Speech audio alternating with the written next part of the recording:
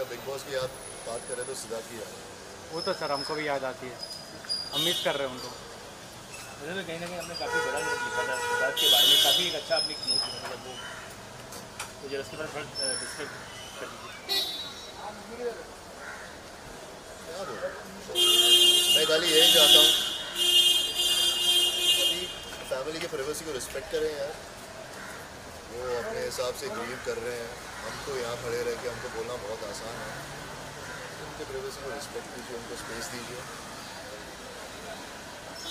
क्योंकि वो लॉस तो वो ही समझेंगे। हम कुछ ही तीन चार हफ़्ते मैं सिद्धार्थ के साथ बिताया बहुत अच्छा सर कोई यादें अच्छी यादें उनके साथ? कुछ रहे